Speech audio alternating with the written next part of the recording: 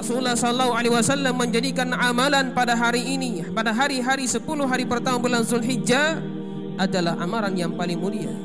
Beliau bersabda, tidak ada hari-hari di mana amalan soleh di dalamnya lebih baik dan lebih dicintai oleh Allah Subhanahu wa taala melebihi daripada hari-hari ini.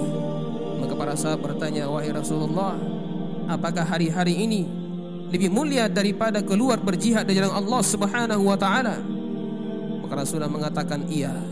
Hari-hari ini beramal di dalamnya lebih mulia daripada berjihad di jalan Allah Subhanahu wa taala kecuali seseorang yang keluar dengan jiwa dan hartanya lalu tidak ada yang kembali dari semua itu. Artinya apa? Syahid di medan perang bisa mengalahkan amalan-amalan di 10 hari pertama bulan Zulhijjah. Yang mana yang sebenarnya yang lebih mulia, lebih afdal? 10 hari pertama bulan bulan Zulhijjah atau 10 hari terakhir bulan Ramadan. Bahwasanya kedua pendapat ini merupakan pendapat yang bisa digabung. Dan boleh mengatakan bahwasanya kalau kita melihat di waktu malam-malam harinya maka lebih mulia 10 malam terakhir bulan Ramadan daripada 10 malam pertama bulan Zulhijjah.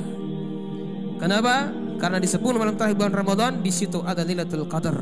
Satu malam lebih baik daripada seribu bulan. Tapi kalau melihat kepada siang harinya maka lebih mulia 10 hari pertama bulan Zulhijjah daripada 10 hari terakhir bulan Ramadan. Kenapa?